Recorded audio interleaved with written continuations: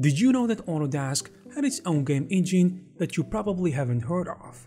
As you might expect, they didn't make it themselves from scratch. Of course they didn't. They acquired it from a promising company and added it to their own set of tools.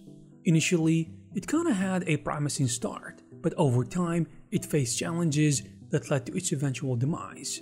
This is the story of the rise and fall of Stingray.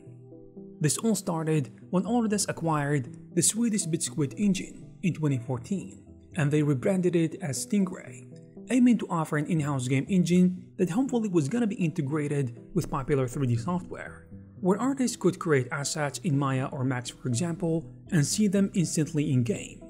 In a control demo, Autodesk showed that making or modifying a 3D asset in Maya could have it appeared almost instantly in Stingray, thanks to the live link between these DCC tools and the game engine itself. The seamless workflow was kinda meant to simplify collaboration, so anyone on a game development team, like an artist, animator, or texturing artist, should be able to preview their work simply and in near real time. You see, Autodesk's goal was to round out its game development suite by adding a game engine to its arsenal of modeling, animation, and middleware tools. By doing so, Autodesk hoped to keep game studios within its ecosystem from content creation throughout making the final game, reducing the need for third-party engines, which I would say is a challenge to say the least. The company pitched Stingray as a professional-grade engine for both AAA studios and indie developers, talking about things like emphasizing intuitive, modern tools to bring graphically advanced games to the market in a wider range of platforms. But this wasn't everything. Stingray was also promoted for users beyond games, as we have seen with engines such as Unity and Unreal. Autodesk demonstrated how architects and engineers could use Stingray to turn Revit building models into interactive, real-time 3D visualizations and VR walkthroughs with minimal effort. Stingray debuted at GDC of 2015 to considerable interest, especially among existing Autodesk customers. Early adopters included studios already familiar with BitSquid. For example, Fatshark announced it was using the new Stingray engine for Warhammer End Times, and Arrowhead Game Studios had previously shipped titles like Helldivers on the BitSquid and Stingray tech. This gave Stingray a measure of credibility at launch, indicating it was production proven in real games. Overall, the engine got some traction and was used by a number of small and big game studios. Plus, it has some great VR features.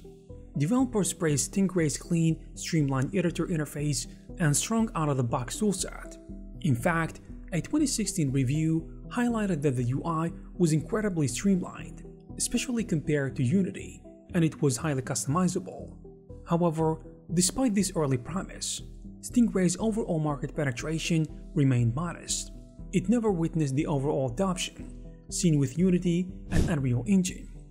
Many game developers were hesitant to switch from the engines that they have already been using for years. So over 2016 and 2017, Stingray struggled to grow its user base beyond Autodesk-centric studios, while it was included at no extra cost with Maya LT, which was a sneaky move to entice smaller teams, there was little evidence it was widely used by the community, I mean the community of game developers. Within two years of the launch, it became apparent that Stingray was not on track to seriously challenge the Unity and Unreal. I mean in terms of community size and the share in the game development industry.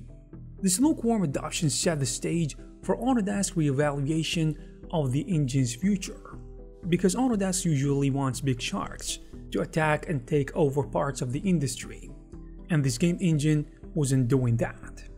By late 2017, Autodesk had to recon with Stingray's underperformance in a very competitive game engine market, and the company made the decision to pull back rather than continue pouring resources into an uphill battle. Autodesk realized that the majority of game developers, I mean its customers, in addition to those in VR and AR content creation, has settled for Unity and Unreal as their tools of choice. They even said it themselves, when bluntly stated, our customers are increasingly standardizing on two game engines, Unity and Unreal, for both games and VR and AR authoring. we feel we can better serve our customers by working more closely with Unity and Unreal rather than trying to develop our own alternative. In other words, Autodesk didn't see that they can push their game engine to the masses. I think that even though Autodesk is well established as a software company, they may have underestimated the inertia of established tools and the importance of things like a free community edition because they only think about monetization. And here's the thing the decision not to offer a free version or source access, while logical from a revenue standpoint, most likely massively held their game engine's growth early on. And I personally think they should have learned from the experience of Crytek, who also competed using CryEngine with Unity and Unreal, but they failed. Around the same time, Autodesk as a whole was going through a major shift to a subscription-only business model for all its software.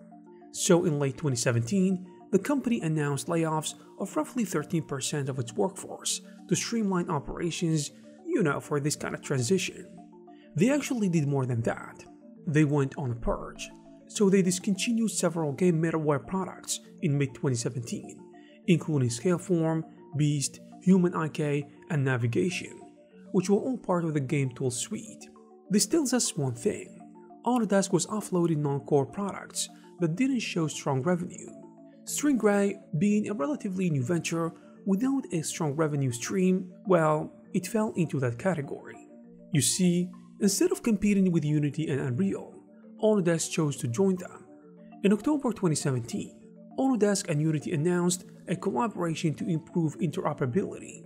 Autodesk gave Unity source code access to its 3D format SDKs, enabling one-click asset workflows between Autodesk software and Unity. Unity even had a prominent presence at Autodesk's own user conference the same year. I think that Autodesk made the smart choice here, which in the end benefited everyone.